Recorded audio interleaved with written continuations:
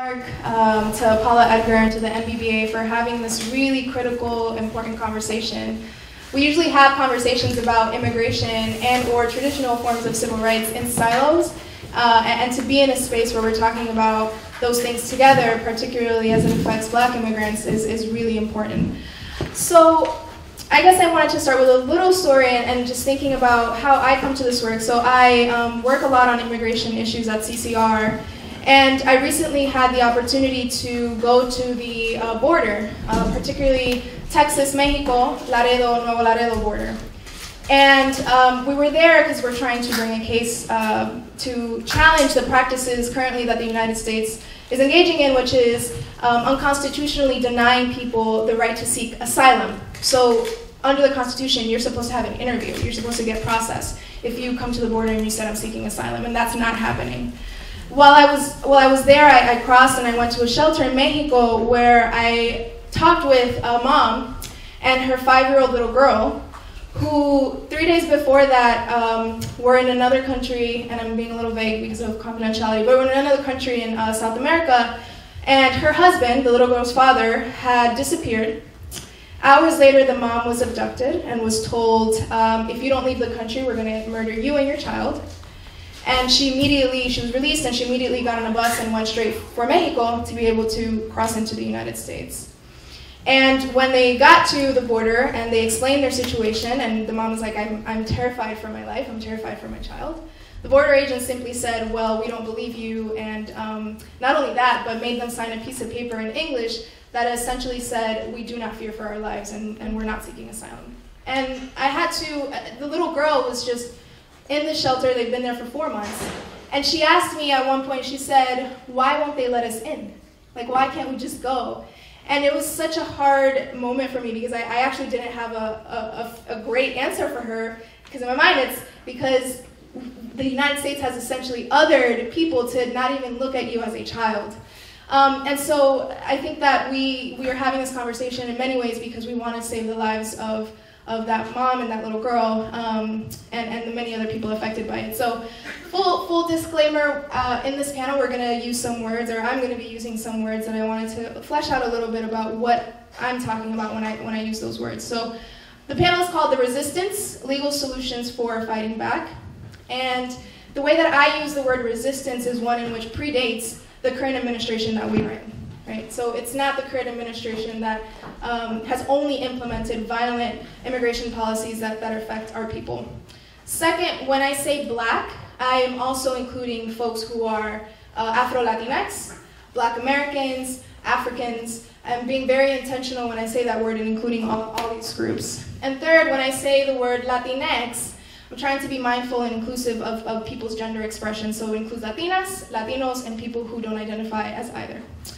So, without further ado, I uh, am going to let each panelist introduce themselves and a little bit about the work that they do, and we're going to restrict it to one to two minutes for that. Thanks. First, um, my name is Carmen Carillo. I am an immigrant. I'm from Guatemala. Um, I was brought here by my mother a long time ago, um, almost 30 years. And I do immigration defense work, I guess. Um, I represent a lot um, immigrants from all walks of life in mostly in Newark, New Jersey, and in um, sometimes in New York.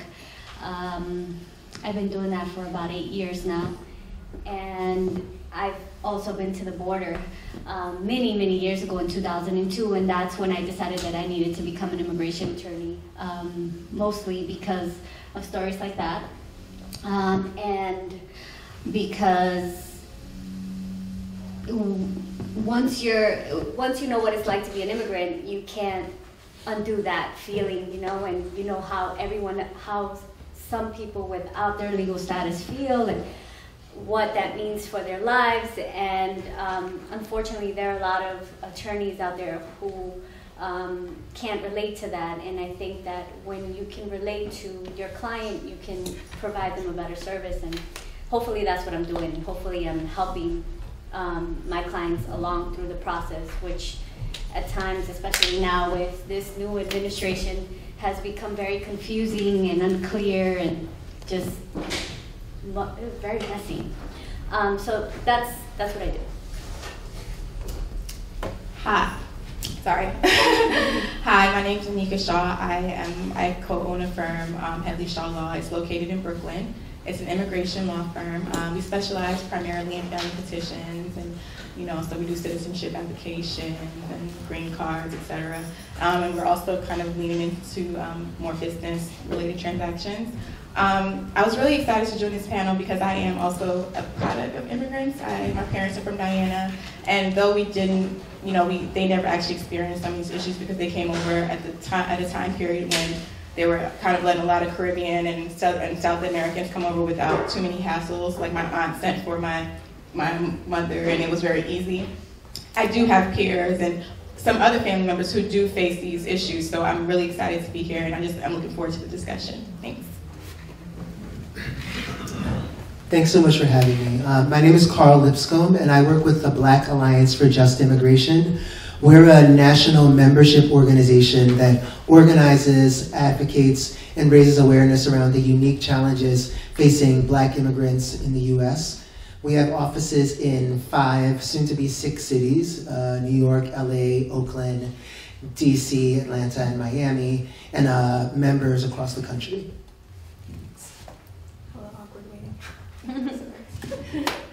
Thank you all so much for, for being here and for sharing your time with us. So I kind of frame this a little bit. We're going to have uh, one question at the beginning that's going to focus on national um, kind of current in the news immigration laws, and then we're going to focus the conversation a little more on New York and then really get into politics of, of criminalization. Um, so the first question for, for y'all is, can you talk a little bit about where the very famous travel ban currently stands given uh, the Ninth Circuit decision, the Hawaii decision, and, and, what does that mean legally and practically, practically for people now? Any, anyone can, can start. Okay, go ahead. You go first. okay, um, so we all know that the ban uh, first was instigated in January of this year. Um, that was actually the Fourth Circuit. Um, and everyone remembers the chaos in the news and a bunch of attorneys were at the airports trying to help everyone out. Um, so clearly, they shut that down. um, so um, of course, the administration went ahead and tried to bring it back again, and that was in the Ninth Circuit. And the difference, I mean, they, they claimed it was different, but it was more of a like a, I guess, a political correctness uh, sort of change because the first one it was, you know, they included all of seven countries, and I think the second one they took away Iraq, and then um, they had a, a they had put something out there for refugees, and they were kind of um, basically block, blocking the number of refugees that were going to come into the country.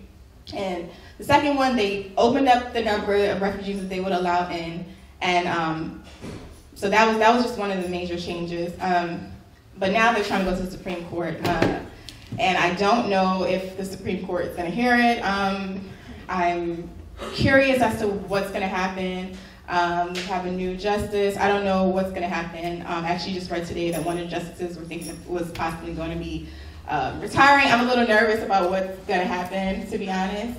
Um, so even though the travel ban isn't currently in uh, in place, you know, there's a, a temporary restraining order on it.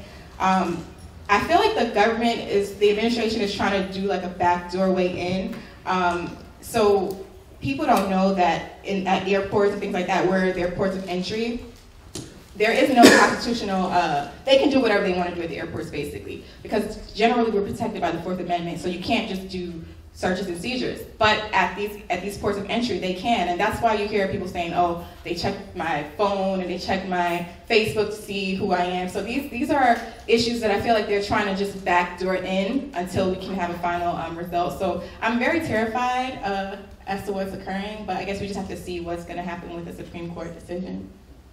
Um, all right.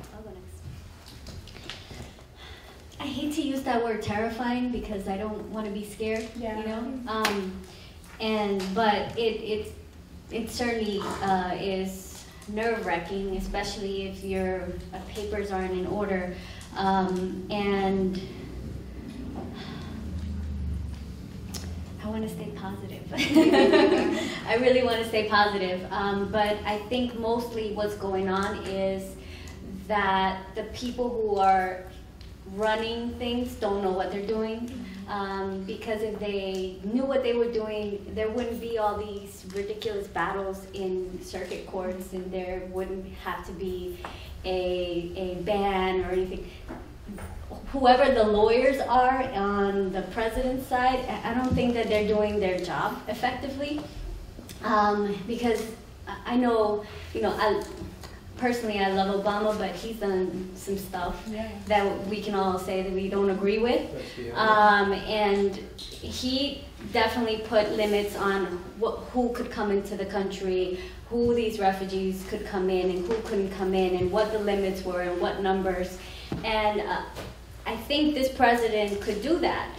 And we probably wouldn't have heard of any of it except that he went and banned everybody. I mean, that's just, it's, it's insane. It's part of like what's going on in the immigration courts, uh, in, with USCIS. Um, everything is taking forever. Um, before we knew you could get your work permit in 90 days, we knew you were gonna get your green card in at the latest six months. Now it's like taking a year. Sometimes you get your work permit quickly, sometimes you don't, and you know, and, and I think that's part of what they want to do. That they, they want to just kind of um, keep us unbalanced, um, and then that's part of what makes it difficult to, um, for also for the lawyers to represent um, our clients in the best possible way because we don't have clear answers. Um, and hopefully the, the, the Supreme Court takes, up, takes the case and says, yes, this is absolutely unconstitutional. This is incredibly, uh, what's the word? Um, uh, I'm missing the word, but it, discriminatory. It's incredibly discriminatory. Um, but uh, it's also important to realize that these things have been going on for a long time, and we live in this country where discrimination is everywhere in everything that we do. Um, it's just so in our face right now. You know, it's. And I don't know that that's bad or good. I, I like to know who my enemy is over who isn't my enemy. And I think the fact that we know who our enemies are, that it makes it easier to fight. But um, legally, I, I think they're just creating chaos, and, and that's, that's really the, the, the problem. And I don't know that that's not on purpose. Yeah. you know? So, Carl, maybe you know, um, can you? So let's assume that it goes to the Supreme Court, and let's assume for a second that it potentially gets, you know, it says it's unconstitutional, which is very unlikely. Let's say that happens. Do you think that that addresses the underlying basis of what actually brought this to be? Not at all. And I think um, I'm glad you asked because I was going to jump in on that. Um, a lot of attention has been given to the travel ban, and um, you know many people don't realize this, but three African countries um, are you know are amongst the countries um, where immigrants will be banned, refugees will be banned, um, and you know I think that um, you know, I think the attention given the travel ban is warranted. Um, refugees are, you know, they're escaping the most traumatic experiences, um, you know, some of the most traumatic experiences um, in the world, and war, violence, um, natural catastrophes. Um, but I think um, what hasn't, what, what's been ignored by both immigration advocates, the thousands of people that showed up at airports, um, and the mainstream media are the other executive orders that the president um, has implemented. Um, and you know, even if the Supreme Court, um, uh, you know, rules against the travel ban, we still have these other executive orders um, that are actually more catastrophic for people that are currently live, um, immigrants that are currently in the U.S. The administration has called for hiring 15,000 um, new immigration enforcement agents between Border Patrol and ICE agents. Um, they've prioritized for deportation um, not just those with criminal convictions or criminal contact, but anyone that's committed any act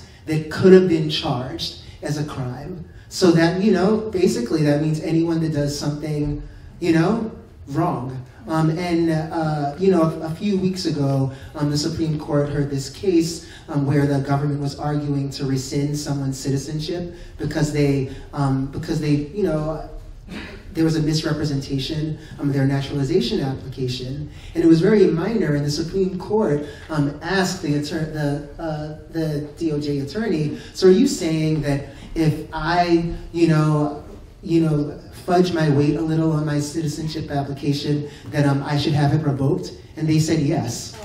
Justice Roberts said, "Are you saying that if I, you know, exceeded the speed limit by five miles per hour, but didn't tell any, you know, didn't tell anyone and wasn't caught, then um, I should have my uh, my citizenship revoked?" And they said yes. And so, really, this is what we're up against. Um, you know, they're they're really, um, you know, doing anything in their power to restrict immigration and to and to kick immigrants out.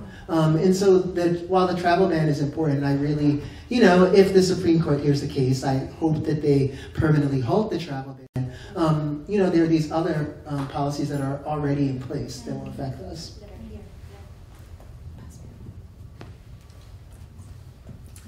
Thank you so much for that and, and bringing attention to kind of um, what we, we're not necessarily thinking about nationally in, in the national discourse. And so, talking about this a little bit and what's not talked about, um, something that is definitely talked a lot about in New York City is that New York City is a sanctuary city.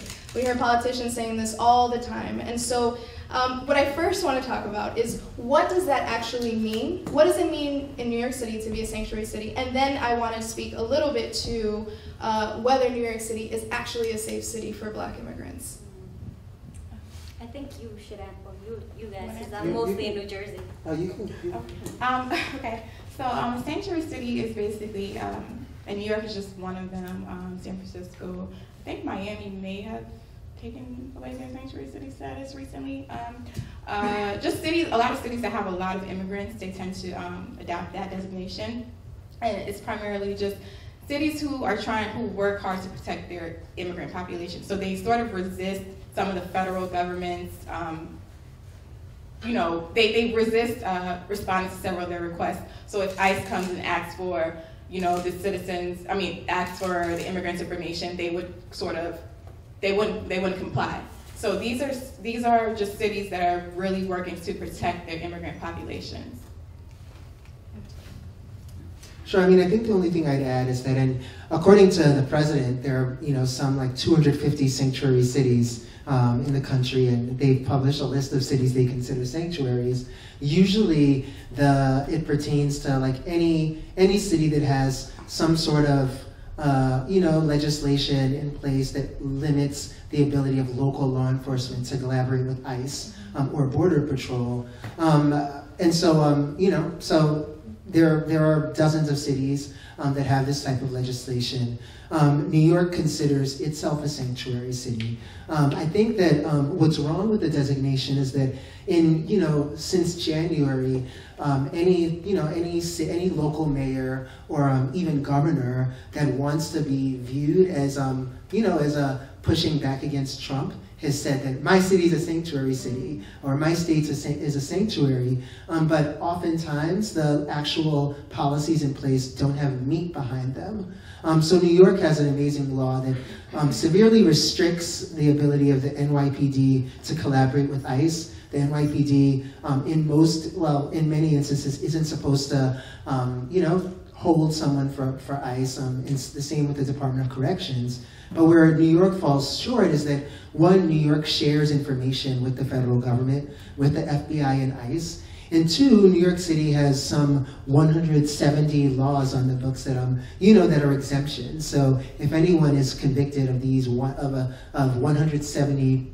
crimes, um, they can and will be turned over to ICE. Um, I think the city also falls short in that um, ICE still is still able to have a presence um, in places where where you know where immigrants um, have to you know go day to day. So ICE um, still shows up in courthouses um, to arrest immigrants. They look online on this New York City website um, on when someone has a court appearance, and they show up and um, they arrest um, someone in the courtroom to the point where judges sometimes set bail on the person so that ICE can't get them.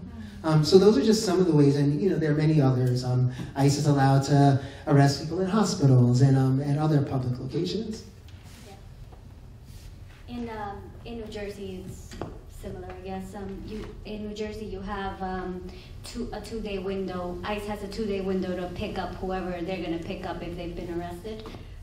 And if they don't pick them up during that time, technically, then they can be released. Um, and um, ICE can't really isn't supposed to come after that. They're supposed to come within that two uh, two-day window.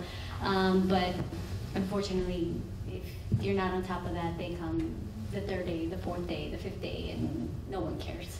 Um, I I live in Newark, and I also practice in Newark, and um, Newark is supposed to be uh, the sanctuary city, um, and I think there's also a problem with that designation because um, it makes people think that they're safe, and they're not. Um, one of my, um, there's this deli I go to every morning and get my bagel and my coffee and say what's up to the guys who make it. And um, they actually live here in the Bronx. And um, apparently, one of the people who lived with them had a ton of parking tickets.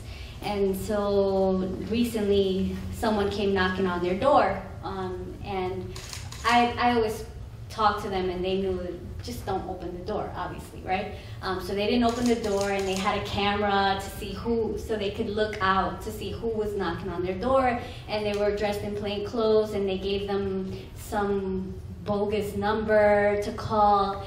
And we think it's one of two things. Uh, obviously, it was ICE. Um, they got a hold of this person's traffic record, and because he owed a lot of tickets or something, they were coming to look for that guy. That's one. Or um, my client, uh, my, my friend, because he's not my client, his, um, his brother was recently deported, and maybe they got a hold of his, um, his address um, when he deposited money when he was at the jail. Or, you know, there's just so many ways for them to gather information. It just, it just does, I don't know, I think Sanctuary City um, benefits more the city, bringing people in, making sure there's people working, um, than it really benefits the immigrants or protects the immigrants. Thank you, and I just wanted to add a little bit. Um, I think our panelists alluded to this when they were talking about how the policies don't match up to what they're saying. And so, to give you like a very concrete example, for example, if someone jumps a turnstile and they're arrested by a police officer and they go into the precinct and they get finger they get fingerprinted, those fingerprints go into the federal system, which taps ICE. Uh, and so this idea that police are not necessarily colluding with federal agents that are then deporting people is actually just not true. Um, and, and, then when you think about who is getting arrested for jumping turnstiles, then we go into a conversation not only about undocumented folks but and immigrants, but poor people and poor people of color. Um, and then the other thing that I wanted to say related to this was the fact that we hear a lot about, well, Trump is going to stop funding, and de Blasio has said, I will take him to court right? And when you look at what the actual funding that uh, would be taken away from the city of, of New York, uh, a small percentage of that would go to things like housing and to things like healthcare. But the majority of that money is going into an NYPD task force that's particularly looking at terrorism. And when you talk to community members and when you talk to people, it's those entities that are directly impacting them in, in violent ways and then putting them into the system in the first place. And so if, if, if de Blasio actually wants to think about those ways, then, then don't fight for that money, right? Um, and of course, it's, it's a harder conversation to have. Um, I just wanted to add those two pieces. Can I add something about de Blasio? I also read that he was trying to expand the crimes. So out of, in addition to the 170 crimes that he was trying to actually add to those add to those crimes. So actually, if you're trying to be this sanctuary city, why would you increase crimes, which would make, which would, you know, in essence, you know, have people lead to more um, deportations? Like, I just don't understand. So I do think it's just sort of, it's, it's, it's not necessarily a genuine uh, attempt, I think, at, at, what he's saying. I think it's more just something, like you said, sound good to make the city sound like, okay, we're welcoming, we're trying to fight Trump, but you're doing things um, contrary to what you actually supposedly stand for. Carlos. Sure, and, and then I had uh, one other thing. I know that um, for those of you that were here this morning, uh, the Mayor's Office for Immigrant Affairs was on a panel. Um, my someone Sam, who I went to law school with, um, works there, and um, he talked about the New York Immigrant Family um, Unification Project, NYIFUP, which is New York's uh, program that provides um, legal representation to any immigrant um, that um, has a case um, in immigration court downtown on Varick Street. Um, and it's been a widely successful program over the last four or five years. Um, and this year, um, the mayor has proposed, you know, the program no longer representing immigrants that have any sort of criminal contact. Um, so this is, you know, this is a successful program. Um, it's, and, you know, they've justified it saying it's too expensive, yet they've increased funding for the program over the years. Um, all of the, uh, the city, the public defender offices and legal service agencies um, that are contracted to provide this service, um, you know, talk about how successful it is. And many of the people that, um, you know, that uh, the mayor's thinking of, uh, you know, pulling attorneys away from are the, ex the exact people that need attorneys. Um, you know, I forget the exact numbers, but I think it's like immigrants that have an attorney are 10 times more likely to win their case in immigration court. So if we're really a sanctuary, why are we taking this important protection away from the immigrants that need it the most? Like, you know, the, the right to an attorney and the ability to have representation is, you know, one would think that's like the floor if we're, if we're considering ourselves a sanctuary. Thank you. Yeah. So so we've talked a little bit about a lot actually about you know kind of the problems and we I think the people in the room kind of get a gist of, of where we are and so I think now I want to turn a little bit to possible particular legal solutions to, to what we're seeing um, to anti-black, anti-Latinx, anti-immigrant laws and, and, practices. And then after we talk about that, we're going to talk about non-legal solutions. So first, legal solutions that you all see, and of course, the panelists have um, come to the work in different ways, um, and so they're going to, you know, bring that. You know. I, I have ideas. um, the part, the, the difficulty is implementing those ideas, implementing that uh, resistance um, without messing up your client's case, um, without um, messing up the goodwill that you've created over the years with the trial attorneys and the judges and everyone in the in the immigration world. Um, that's that's where I'm coming. That's where my perspective comes from. Um, the other day I was in court and um, I made a motion to uh, to close the case because um, my client um, is eligible for uh, adjustment. He can become a resident. Um, and the trial attorney didn't have her file and blah blah blah. blah. Now they're just there's a, now she has to ask permission to close the case that normally we would have normally closed because this guy can become a resident. It's not, he doesn't have a criminal record, he has the proper entry, um, he he's married to a U.S. citizen, they, it's been, um, USCIS found that they're in a legitimate, bona fide marriage. It's something easy that should have just been closed um, with the documents that I provided her, even though she didn't have the file. And um, so maybe I shouldn't have done this I don't know. but all she had to do was appro uh, just approve it, you know. But now there's um, there's legislation, or I think the BIA came down with a case that says that the judge has the authority to close cases. To if, if they don't have to take into consideration ICE's reasons for not closing the case, um, because their priorities are not the Department of Justice's priorities, right? Um, so I made the motion before the judge to terminate proceedings so that this man could continue on with his path uh, to adjustment. Um, and the judge, the first thing out of the judge's mouth was, well, I can't go against the government position, Ms. Carillo. And I was like, excuse me? um, that was the first thing he said, and then he and then he quickly caught himself, and and he said, "Well, what are your reasons?" Oh, well, he's eligible. He's we should be able to close this out. Well, at this time, the government doesn't have their file, so I'm going to have to deny your motion to terminate. Blah, blah, blah. And it just causes a lot of delays.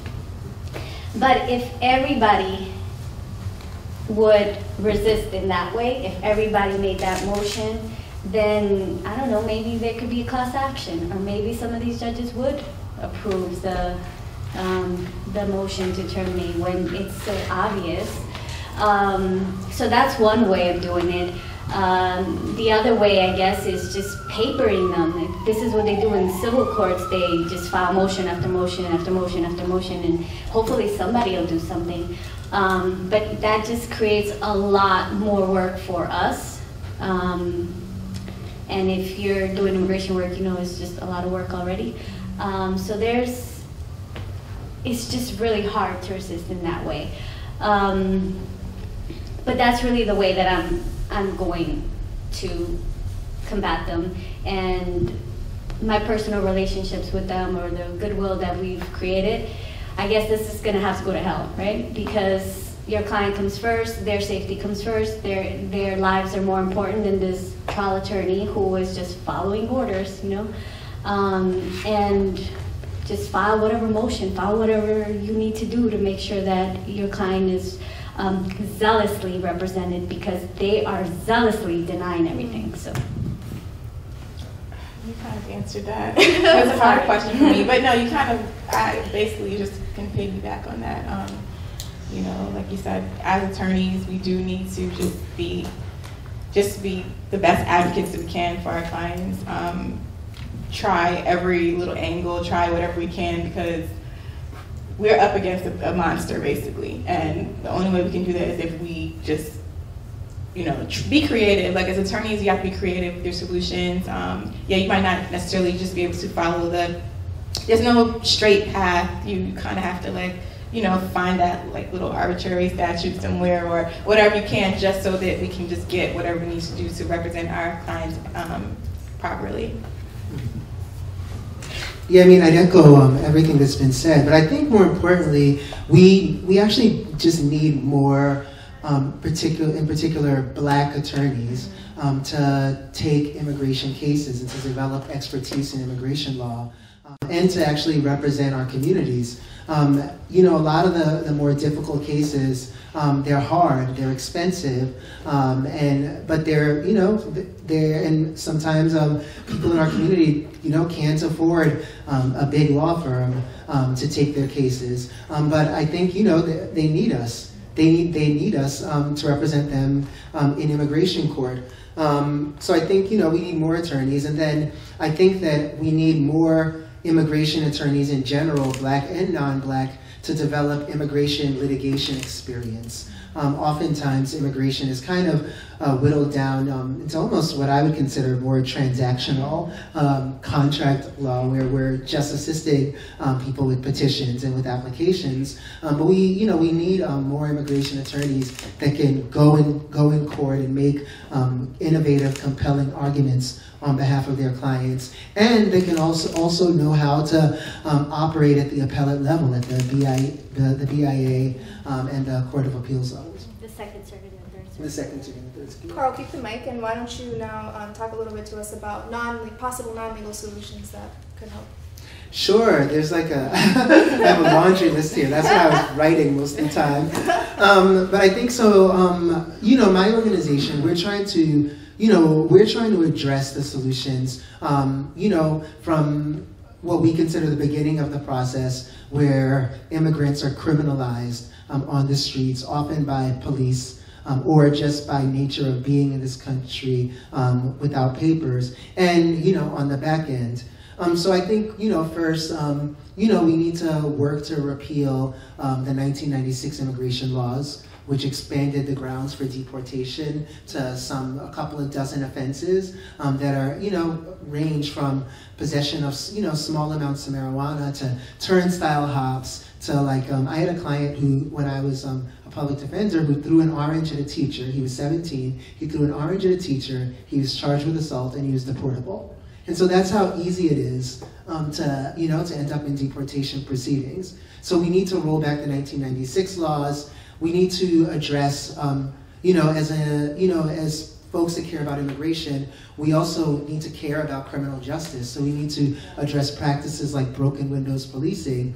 Um, most immigrants, um, in particular black immigrants or immigrants in general, live side by side with African Americans in communities that are um, over policed and they're subject to police abuse and they're more likely to have contact with the criminal system, um, which even if it doesn't result in a, a conviction, um, again, just having that contact or you know being charged with something um, can now put one at risk of being detained by ICE. Um, so that um, you know, I think um, you know we uh, my organization is starting to look at bonds reform. Um, so uh, it's in there are very few cases, but there but in some instances, immigration judges are allowed to um, you know set bond on someone, and, and, if they're able to pay it, they can get out. Um, this is often um, provided to asylum seekers. Um, but um, the bond is so expensive. It's usually like the average bond is ten thousand dollars, and obviously immigrants that are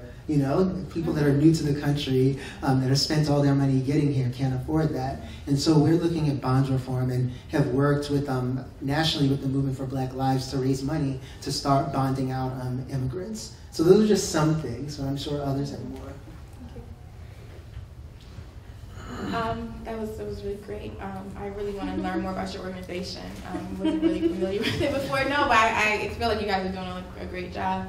Um, I would look at, I, I think, I would consider some of um, like local politicians, local, like get involved in that level. Um, because, you know, if enough of us actually go to these, you know, go to our communities and say, okay, we're demanding certain things happen, I feel like that's a way that we can actually see change. Um, I'm not an advocate for any particular party or anything like that, but for instance, like Eric Gonzalez, who's running for the DA, um, he just he just created a he's he's advocating a, a policy that would um, so like alternative prosecutions for um, immigrants. So instead of just you know when you go when you go to um, court and you're found guilty, that's automatic. You're you know that's to trigger ICE, et cetera, et cetera. He's basically trying to advocate for something where we do alternative prosecutions where we you can you can still find the person guilty, but let's not make them guilty for something that we know can get them deported. You know, so I feel like those sort of things are very very important. Um, so I think getting involved in that local level, just seeing who your local representatives are, that's like key, um, so we can actually get our voices heard. I want to learn more about your organization. um, I, uh, you know, something you said about the bond. Reform. That sounds amazing. The thing with bonds is that sometimes you have a judge that will give you a $3,000 bond, and then another judge will give you the $10,000 bond on the same case. And that's really, you know, that's not justice. Mm-hmm. Um, so uh, that sounds like something that I would be interested in, you know, participating in. Um, I think solutions are are always best with, when they start with education. So if we know more about our communities and we know more we and, and, the information that we have we can share it with our community um, i think we can do more. And maybe it's given talks in schools you know to elementary school children because they they're the ones who go back home and tell their parents um, or even have the parents come in. This i, I don't know I, I think that's probably where where I would start, and, and it would um, with um, with organizations like the Black Alliance for Just Immigration, um, with bar organizations, New York bar organizations. Um, what I've noticed recently is that with the travel ban, now there's more of an interest with attorneys in how they can help. What can I do? That's what a lot of attorneys said when all of this started. Um, and there, obviously, there's just a handful of immigration attorneys because we're we're really not racking up the dough, you know, not really making a lot of money. Um, so, um, the one maybe if we can get some of those um, black lawyers and those Latino lawyers Latinx lawyers um, to learn some of these things and, maybe, and, and not just take one pro bono case, you know, uh, once a year or twice a year and, and have five attorneys on one case, you know. Maybe if we can teach our attorneys, you know, you can make some money, you know, go to your big law firms, do what you got to do, that's great. Um, but also take the time to learn how to protect your people because that's how, that's one of the reasons I became a lawyer. I didn't want to be a lawyer, I, I wanted to be a pediatrician. um, but you realize that um, your community is in harm's way. Um, there's no way to, especially if you're black, there's no way to hide that. How could you? How do you hide that? You know, um, and it's it's really hard. And I, I just I think that it, it starts with education. So if we can get those elementary school kids, you know, some information, we can get the junior high school kids some information, the law school kids some information, then maybe they'll be willing to. Um, take on a bigger role in the fight. Um, because when you're ignorant of the law, you can't maneuver it. You can't maneuver through it. And, and, and I felt that I felt that desperation at the border. I, I didn't know what I could do to help, and I didn't know how to protect myself or protect my family. And the funny thing is, at that time, I was a I was a permanent resident, and I, I, went to college with all these kids, they're all doing drugs, they're all doing all sorts of crazy stuff, you know. And one second, I'm in that car with that kid who had some, you know, some marijuana in his pocket or something. And that kid's a citizen, and I'm not. I could have, they could have taken me. I could, I could be, you know, in Guatemala somewhere. Even though I've been here so long, I, I would have had to go in front of a judge and explain why I was in a car with somebody who had drugs, you know. Um, and that happens all the time. And if we don't find a way to get this information to our communities, then how do we protect those kids that are coming up, you know? Um, so that's, that, that would be one of my solutions. Thank you. Yeah, I heard um, more black attorneys, more Latinx attorneys, more attorneys of color, and, and I would add that we need more of those attorneys, but also those attorneys who have our shared interest, and, those attorneys who have conviction and are willing to sacrifice in ways in which people who might share our identity aren't and are therefore creating laws that are actually violent to our people. Yeah. Um, and, and, so, you know, connected to that, possible ways of, non-legal possible ways of assisting this movement is, is also assisting organization and organizers like BAJI, like the Movement for Black Lives, like Mijente, people really uh, working with directly impacted people, movement lawyers, uh, and organizers to, to not only shift the laws, but also think of a different existence, think of a different way of being towards ourselves, towards each other, um, who, who are the people that are actually being dehumanized by a lot of these policies and, and practices. So related to that, there's been a lot of conversations nationally, especially with a president who has said things such as people from Mexico are rapists uh, and drug lords and all these awful things. Or, you know, under President Obama who said that he was merely targeting people who have convicted, you know, made felonies and serious crimes, but we know he deported much more people than that. Mm-hmm. Um, and, and, so along those lines, can you all speak a little bit to how um, conversations in the country, law and policy criminalizes immigrants, and particularly the connection with immigrants and, and black folks. Anybody could, could start with that one. I'll start. sure. And um, thanks for this question. I think um, the you know there's a there's this framework that I think a lot, increasingly immigration advocates are starting to push back against of this like good versus bad immigrant. Mm-hmm. Um, you know, Obama. It's best stated. Obama said we're, you know, we're protecting, like, you know, we're going after felons, not families. Um, and of course, under immigration law, the definition of felon includes um, a 16-year-old that hops a subway turnstile. Um, so, you know, there's a question of one, who we're really going after.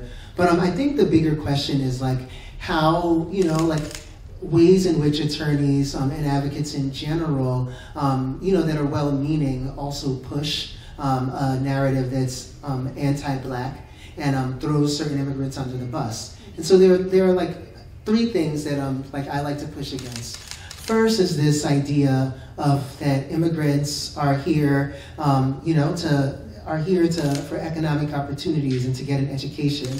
Um, every June, we see dozens of news stories about the immigrant valedictorian, or we hear about the immigrant business owner, or um, unions like to talk about how they're protecting immigrant workers. Um, and I think the problem with that narrative is because that's a very small handful of immigrants that are the valedictorian um, or that um, are even college educated or that own businesses. And those types of narratives um, are often, um, you know, juxtaposed against stereotypes of African Americans and of black people as being lazy and uneducated and criminals. The second is um, this idea of um, immigrant integration and assimilation.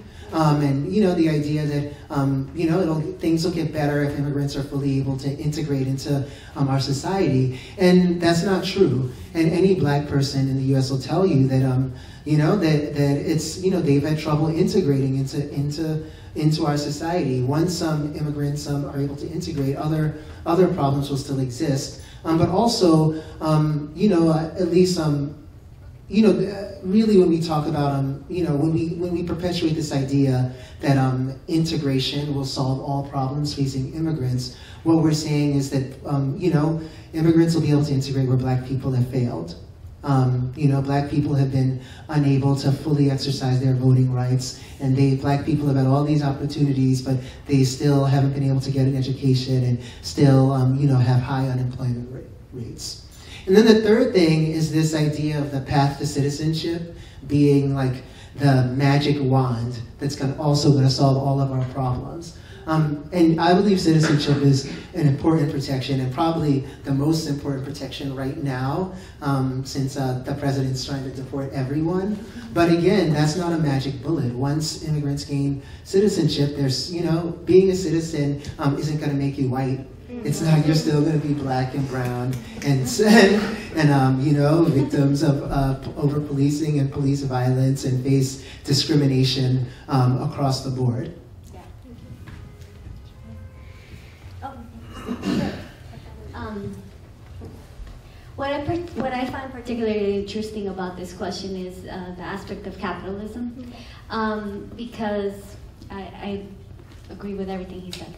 Um, but in, I'm, I'm, taking it in another direction. Um, I think that what they're doing is all about the money, you know? So let's get as many people in jail, let's get as many of these immigrants who are bad people um, so that we can um, make some money, so that we can fill up these, um, these private jails and um, ha have the shareholders happy um, so that we can, you know, increase our portfolios or whatever it is that they're, however it is that they make money. I, am not good at making money, so I don't, um, I'm not really sure how that works, but um, I do know that there are people in immigration detention facilities who should not be there.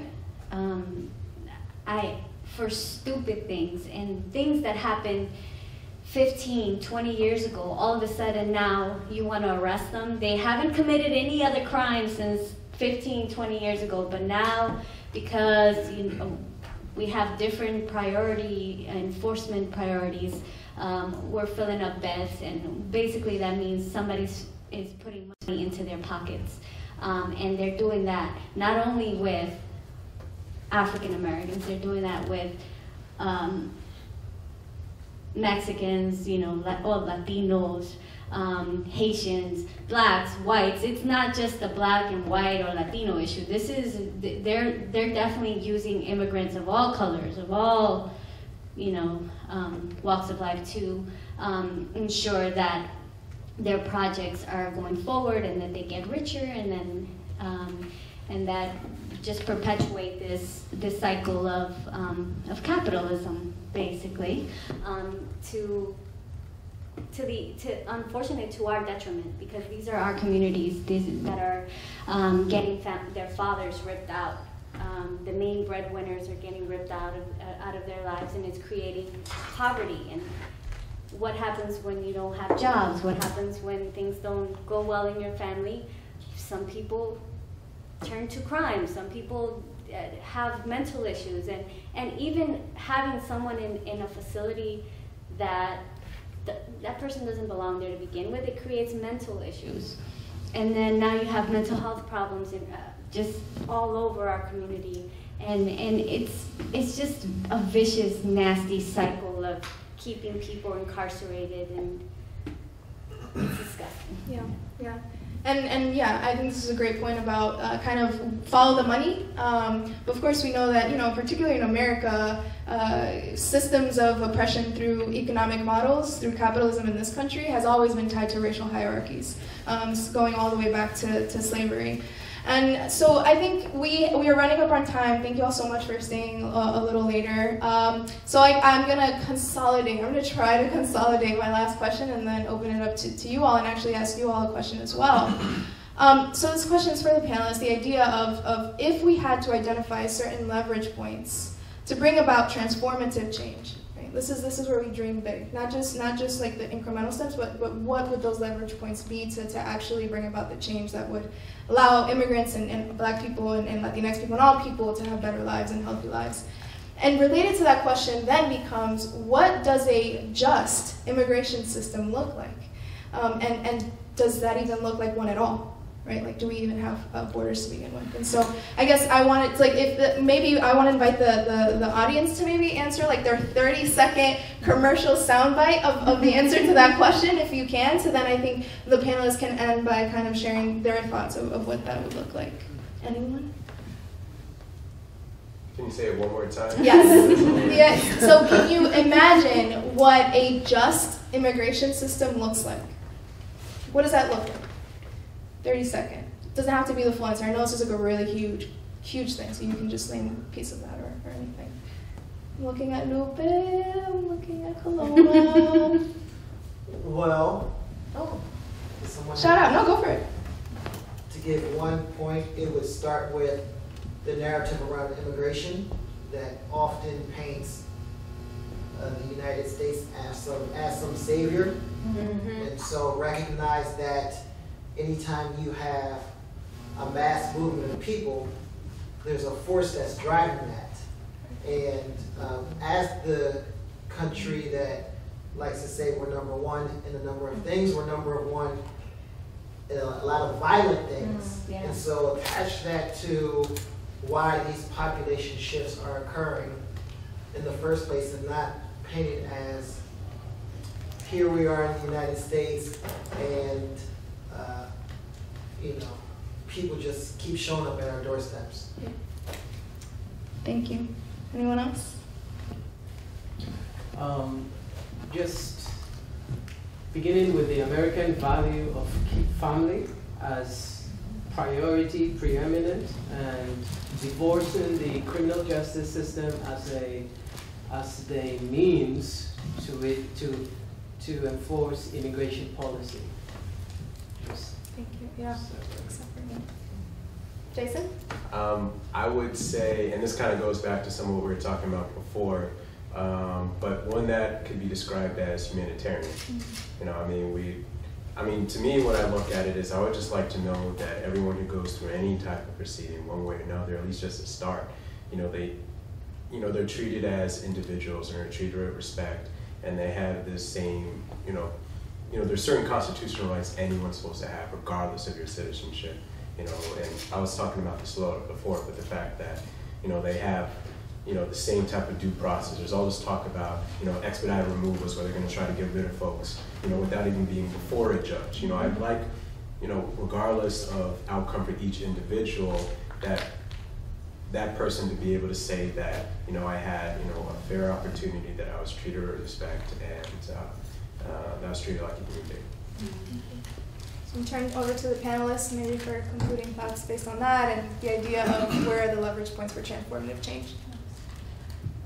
Um, so two things. Actually was inspired by, I believe, this young man in the glasses. um, one of the things I, I've always thought about is just ours versus them or theirs concept, where a lot of we're all immigrants in the United States. Like we basically came here. We, well, not we, sir. I would say white settlers or whatever. They came and they stole the land of people who were living here. So number one, the discourse needs to change, and we sort of had this idea this is our country. Uh, it's not really our country. It's a country that was basically taken, and then we've adopted it as ours. But so really, it's whoever wants to come in because that's what we did. That's what the people who chose to steal the country did. um, so that's just one thing. I was just thinking about that. Um, something else, just because of like in our practice, we noticed this. Um, there's just like a lot of disparities amongst different types of immigrants. So that's something that I would love to be addressed. So, you know, with the different visa categories, for instance, um, you know, we have like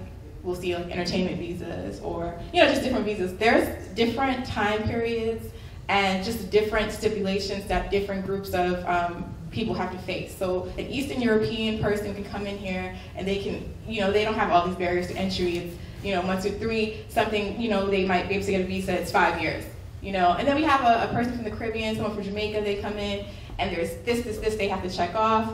It's for two years. And it's just like, why is it that that's the case? That, so that's where I would like to see the, the I, I just need some fairness across the board in how things are allocated amongst different groups. So that's, that's what I would see as a just immigration system.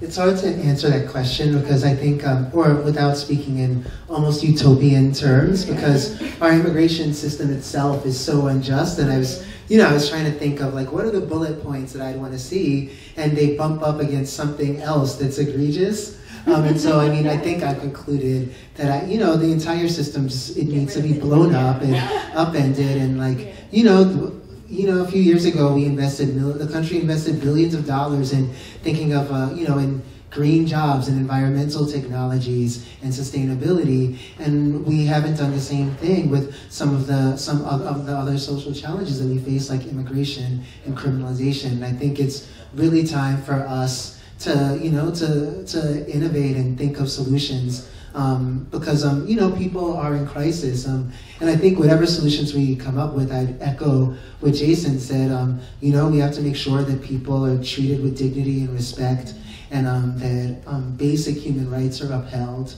and I, you know, if I was going to get specific, I know that there are at least a few things I'd start with, and that's one, abolishing detention. immigration is a civil offense. so why are we detaining people? We don't do that with other civil offenses dismantling ICE. Um, we talk about how ICE is, you know, we hear elected officials say ICE isn't able to do its job or the system isn't working. Um, you know, they're not getting everyone. If a program isn't working, dismantle it, get rid of it. And then I think we need to um, stop deporting people or at minimum place a moratorium on deportations until we're actually able to fix our immigration system. Well, you know, our system's so broken and the immigration courts, there's it's taken a while to deport some people, so I like that part of it. Um, I actually am more on the utopian side, right? Um, and I, I think our the main problem that we have is that we are an imperialist nation, and we cause trouble everywhere we go. So we have problems with Latinos or Latinx coming into the United States. Why? Because we stick our noses in stuff that we shouldn't be sticking our noses in. And when we do need to be there to try to help, we mess things up. We create situations that we have to deal with now that were created, you know, decades, centuries ago. Um, and and we, we didn't just do that obviously in Latin America, we've done that all over the world. If we hadn't done any of those things, or if we were more mindful of the wars that we get into, if we were less um, inclined to, again, um, stuff our pockets with money, and then perhaps we would be able to be more humanitarian. We, would be able to deal with, um, we, we may have less immigrants because there would be more um, economies thriving all over the world um, it would, I don't know, I think that the real issue here is that we're dealing with an imperialist country, you know, who causes damage, and then we come here and, and then, oh, no, let's get rid of these immigrants, they're messing up our country. We, we messed up their countries, you know? They messed up our countries. So um, I think this is sort of payback, right? We're coming to take what's ours. Mm, no. Yeah. Um, but uh, and some and the Mexicans. This is their country, you know. Yikes. So anyway, that's that's my two cents. And on that note, uh, please help me in thanking all of our panelists for coming. So we are way over. I don't know if anyone has a question or two. That's a burning question right now. Um, I would just like to say something because I listened quite carefully about the comments on black lawyers and we need more black lawyers. One of the things I've always said to people is that we as a black people, we need to be, um, we need to be more conscious of who we are and appreciate ourselves. Um, I often see in my practice people who come to me and they try to bid down their price and then they go to Manhattan and pay some non-black person a lot of money and then they come back to you and say, I can't get him. He's just not available. We have to take responsibility and believe in ourselves. That's it. Thank you. It's true. Great point. I would, uh, I don't know if anyone has anything to add. I think that's a great point. I think that um, we have to be mindful of the fact that people are breathing the same air, meaning that we have been previewed for centuries. Um, and, and we have been organized to think that even if we are lawyers, we are still less than. And in many ways, when white people represent people of color in court, they oftentimes have better outcomes. It's not to say it's right, it's to say that we have to change the structures that are causing people to think this. It's not just that this person itself has some intent against me. Um, and so I'm totally with you, but, but I think we should be loving to our community and, and bring them in and, and kind of just move them to a place where they're not necessarily being demonized for, for thinking that way. That makes sense. Anyone else? Yes. I'm sorry, I don't have a question. I have a quick comment. First of all, that was profound, phenomenal, wonderful presentation, and I just want to like uplift the message. One, your sentences was like on point, but the particular message is about you know the oppression of Black people, of people of color generally, Black people specifically, and the intersection of that in our capitalist system. Like I don't think that can be understood. like it can't be lifted enough. Mm-hmm. And I feel like as advocates, we all have responsibility to like see that intersection and, and work against it. Absolutely. Because it's a system that is bent on exploiting and oppressing us. Absolutely. So thank you. You know, and as black attorneys, who you mentioned, um, you know, the clients going into our community, going to Manhattan, et cetera. I think we need to also make our presence more known in the communities. Like, I was, because this is actually like the first panel I've ever done, and I was like, you know, I really want to start going out and just being a part of where my people are because they're gonna be forced to come to you eventually. Like if you're in someone's face and you're saying, "Hey, this is what I offer," this is, I feel like we just need to let our presences be known. If not, other people are gonna come in and easily take that. Because we I, we listen to we, I listen to radio and I hear like no offense to anyone, but like you hear the Jewish guy and these Caribbean stations and it kind of irks me. They're they're on the stations and they're like, "Oh, we do immigrant," and I'm like, "Wait, why are we not on this?" radio station speaking to our people? And everyone's calling in. They're like oh yeah. And i'm like how did this guy well how is he able to like infiltrate in and do that? But i'm thinking you know maybe we're just not letting our presences be known. And that's something that as black attorneys we have to like work on um, so that's just my one little point to that yeah Great. Thank you all so much.